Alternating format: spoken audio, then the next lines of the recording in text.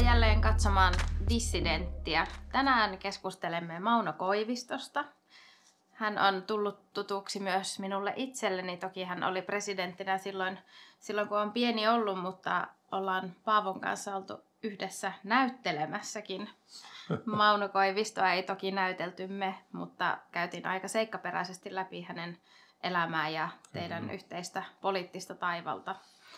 Ja tuo Ylen Politiikka Suomi-sarja alkaa siitä, se ensimmäinen jakso keskittyy Mauno Koivistoon aika pitkälti ja vuoteen 1987. Ja siinä käydäänkin jo seikkaperäisesti läpi sitä, sitä tuota, kuuluisaa sanontaa se, voiko johonkin kuolla.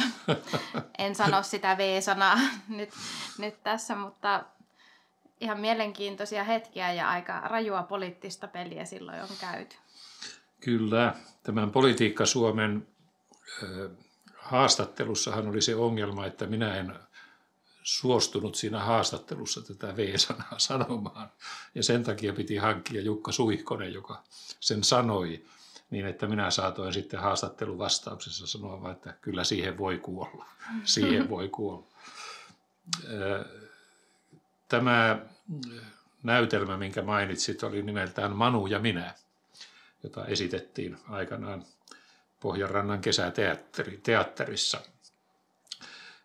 Se vuoden 1987 hallitusratkaisuhan on ollut hyvin käänteen tekevä Suomen poliittisessa elämässä ja siitä ei ole vielä koko totuus ollenkaan tullut esille, ei ainakaan laajempaan tietoisuuteen.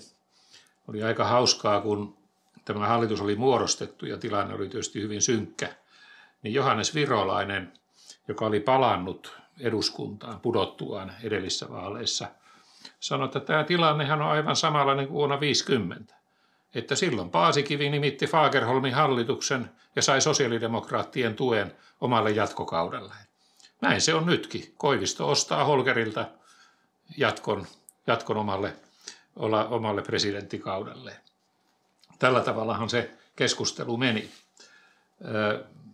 Siinä oli todella hyvin vahvasti kysymys valtapolitiikasta hyvissä ajoin ennen vuoden 1987 eduskuntavaaleja.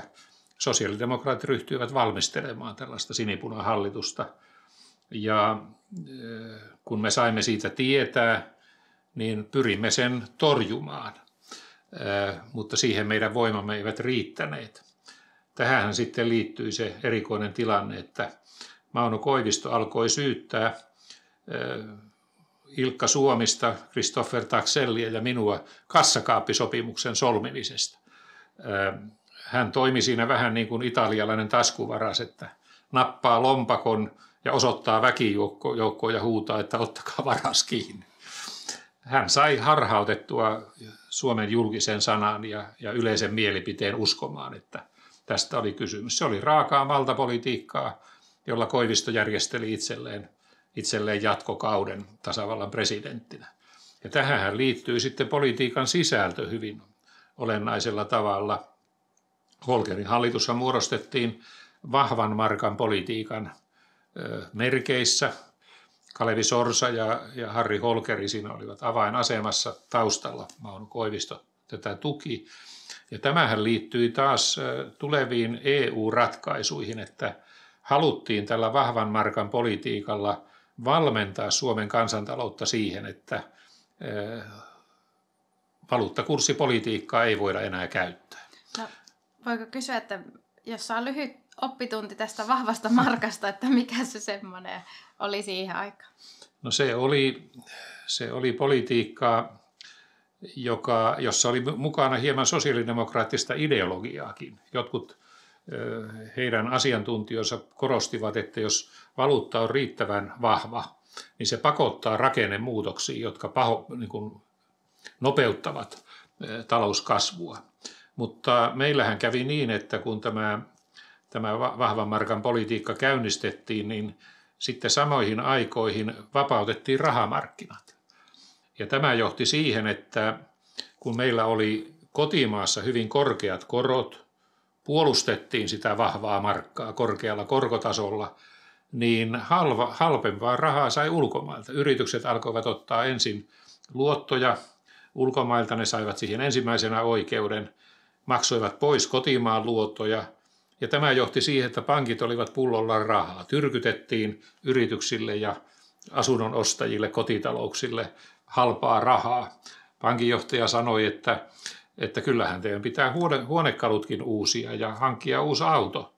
Ja, ja annettiin hyvin helpo, helposti luottoa jopa ilman vakuuksia tai, tai hyvin heikoilla vakuuksilla. Talous pahasti ylikuumeni, valtion verotulot kasvoivat ja julkinen talous paisui.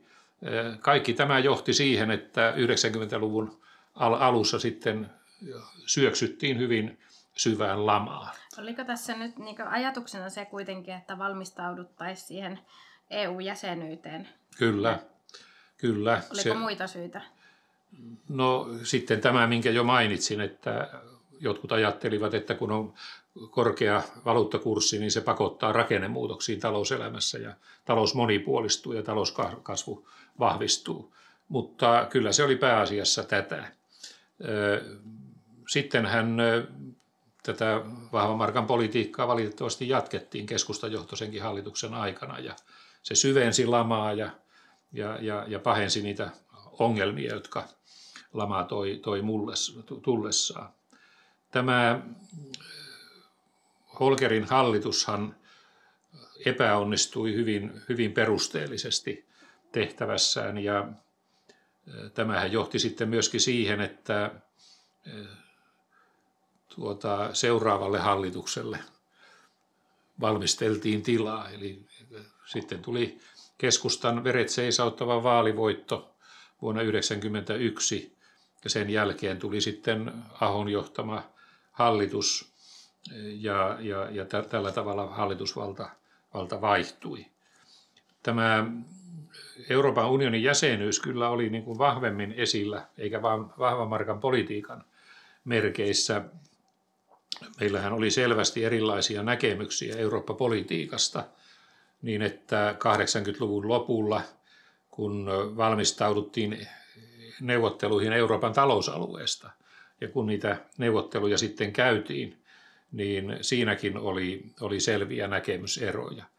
Eli sosiaalidemokraatit, kokoomus ja myös osa keskustasta ryhtyi valmista, valmistelemaan Suomen liittymistä Euroopan unioniin.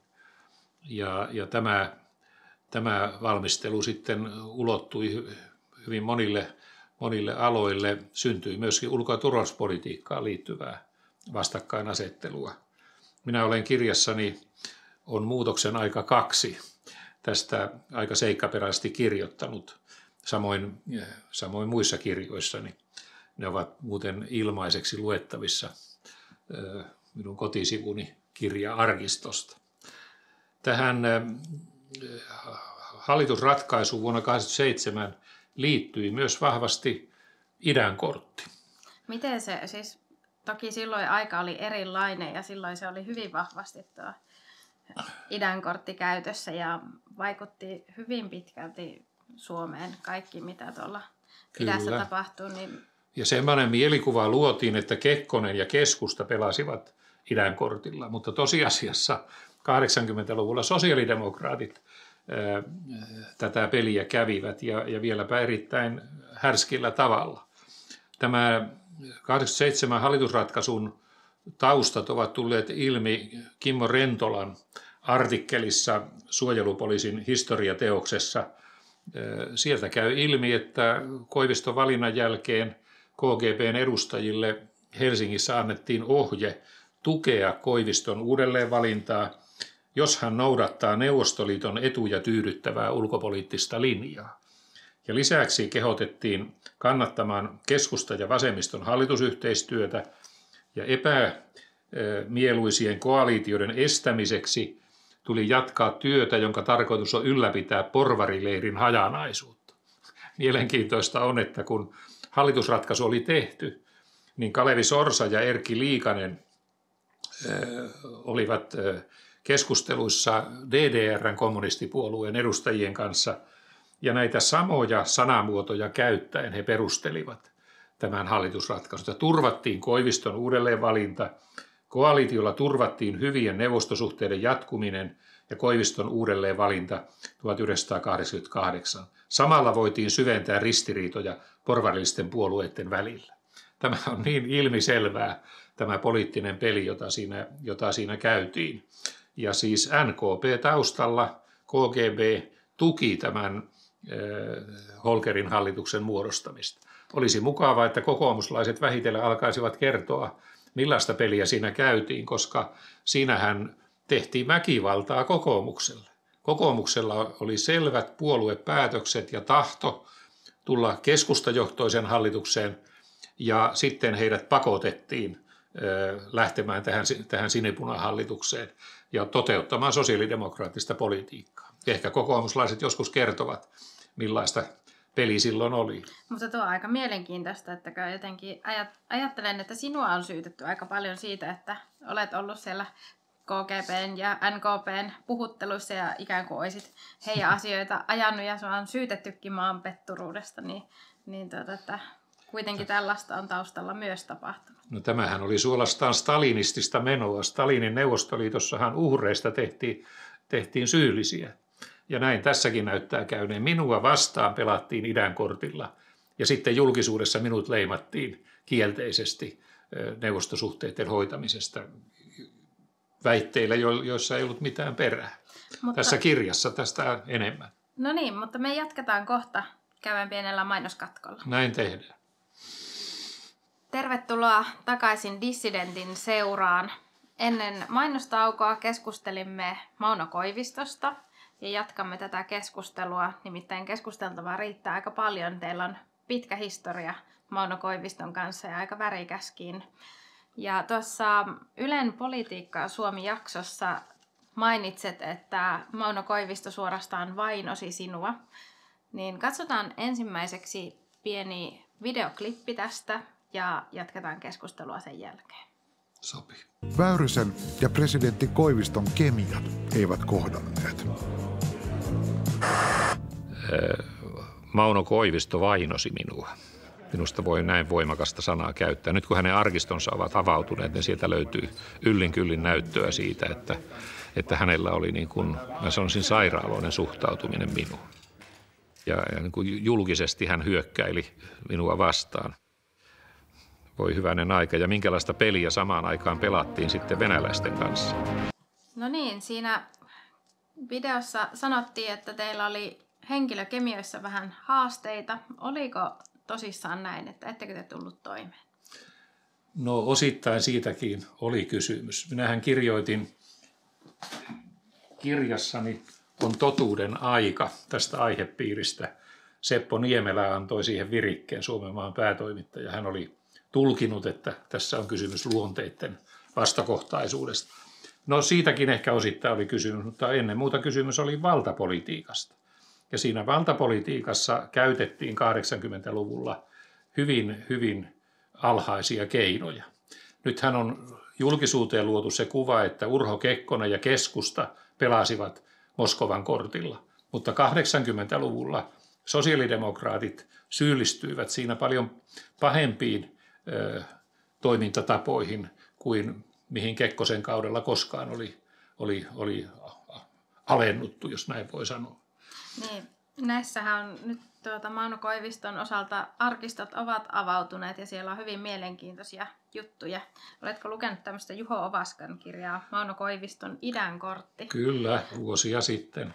Täällähän on tällainen muistio, jossa kerrotaan Jaakko Kalelan ja, ja Valentin Kossovin välisestä ha- tai keskustelusta. Ja täällä kerrotaan muun muassa tuota, hänen sanoneen näin, ei ottanut kantaa pääministerin henkilöön, mutta ilmeisesti ajatteli lähinnä Uusitaloa tai Pekkalaa. Torjui ehdottomasti Väyrysen. Piti tärkeänä, että Koivisto turvaisi itselleen karjalaisen tuen. Lähinnä ilmeisesti ajatteli nimitystä Suomen Pankin pääjohtajaksi, jossa olisi turvassa eläkeikään asti uhkaamatta seuraavissa vaaleissa. Samoin piti tärkeänä, että Sorsa olisi ulkoministeri, jolloin edellä mainittu kolmio takaisi Koivistolle lujan aseman ja politiikalle varman jatkuvuuden. Eli siis tämä oli ilmeisesti presidentin kansliasta käyty keskustelua. Kyllä, Kalela oli, oli tuota, tärkein Mauno Koiviston avustaja ja hän kävi siis tasavallan presidentin toimistolla, kansliassa neuvotteluja siitä, minkälainen hallitus Suomeen pitäisi tehdä. Ei tällaista koskaan Kekkosen aikana tapahtunut. Tämä keskusteluhan osoitti sen, että minä olin noihin aikoihin ja vielä pitkään sen jälkeenkin persona non grata Neuvostoliiton silmissä ja NKP ja KGB toimivat minua vastaan. Tässä tapauksessa siis lähtettiin siitä, että joku toinen keskustalainen kelpaisi pääministeriksi, Sorsa ulkoministeriksi ja tällä tavalla NKPlla olisi maksimaalinen vaikutusvalta Suomen hallituspolitiikkaan. Aivan uskomaton tapaus tämä. On se aika hurjaa kyllä ajatella, että miten toinen, toinen valtio on noin tiiviisti ollut Suomen päätöksenteossa kuitenkin matkassa. Kyllä. No sitten myöhemmin hän oli tämä 80-luvun puolivälin tienoilla tämä hallituskysymys, josta jo käsiteltiin, jota käsiteltiin edellisessä jaksossa.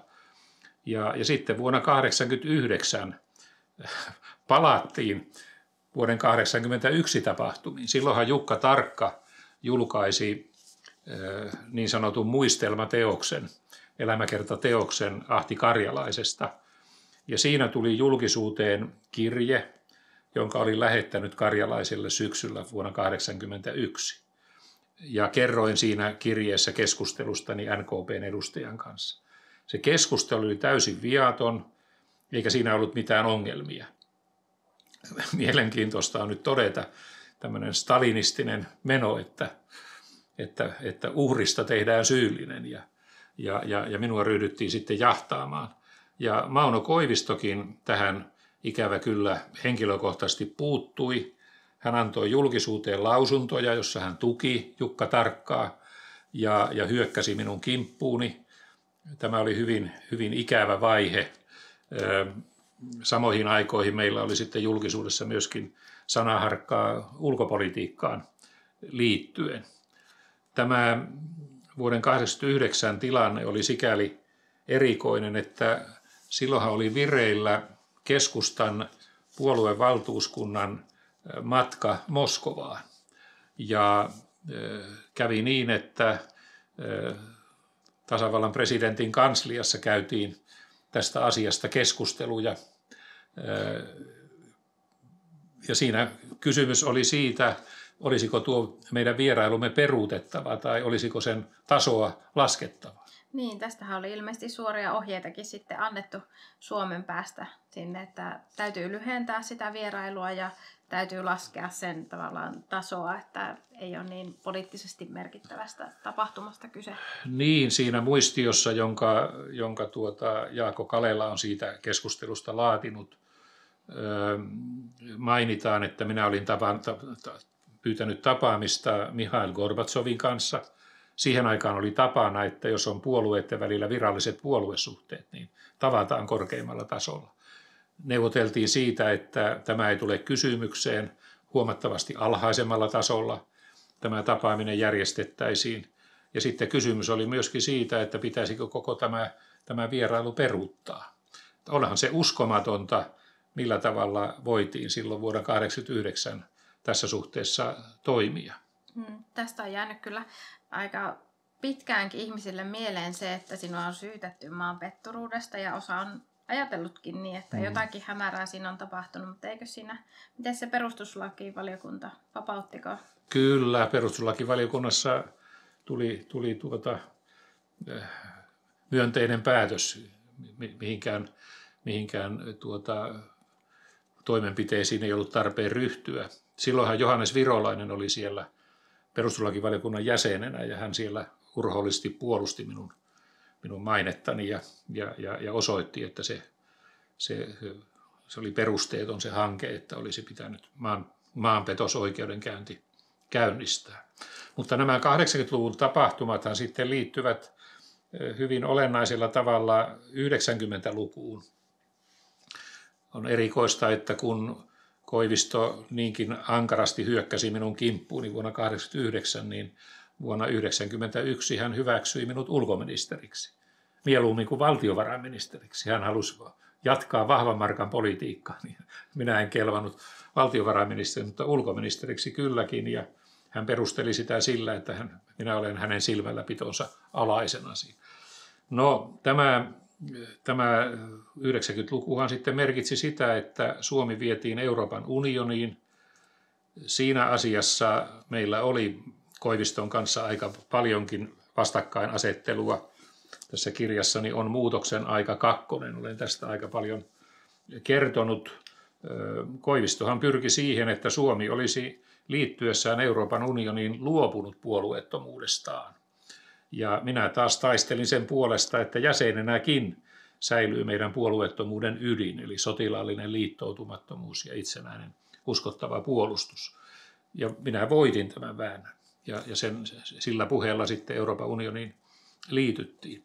Erikoistahan tässä on Koivistoon liittyen se, että kun hän oli ajanut Suomen Euroopan unioniin ja vielä synnyttänyt siinä ongelmia, kun oli tavaton kiire siinä ratkaisun aikaansaamiseen hänen presidenttikaudellaan, niin hän muutamaa vuotta myöhemmin julkaisi teoksen Venäjän idea, jossa hän ankarasti arvosteli Euroopan unionin kehitystä ja Suomen omaa Eurooppa-politiikkaa. Niin, aika mielenkiintoista sinänsä, että te olette kuitenkin hyvin pitkälti ollut eri linjoilla, täysin vastakkaista mieltä toistenne kanssa. Niin jälkikäteen hän on sitten arvioinut, että, että me ollaankin liittouduttu enemmän kuin mikään muu ja ollaan siellä ihan kovassa ytimessä. Ja hän muun muassa sanoi, että nyt ollaan ryntäämässä kärkeen, ollaan kaikkein federalistisimpia. Kyllä.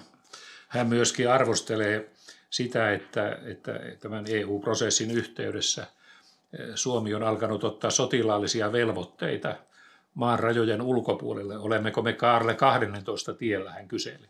Eli hänellä oli hyvin kielteinen suhtautuminen Euroopan unionin kehitykseen ja Suomen Eurooppa-politiikkaan. Olisi, olisi mielenkiintoista tietää, mitä hän tänä päivänä sanoisi kaikesta, mitä nyt on, on tapahtumassa. Meillähän on nyt meneillään voimakas kehitys kohti ylikansallista liittovaltiota ja nämä Koiviston esille tuomat pelot tuossa kirjassa ovat ikävä kyllä toteutumassa. Tämä on muuten hyvä kirja. Kannattaa lukea siis uudelleenkin. Minä olen tämän joskus kauan sitten lukenut, mutta pitäisi uudestaan lukea. Että todella mielenkiintoisesti kirjoittaa kyllä. Kyllä. On myöskin monia muita, jotka ovat Euroopan unionin jäsenyyden toteuduttua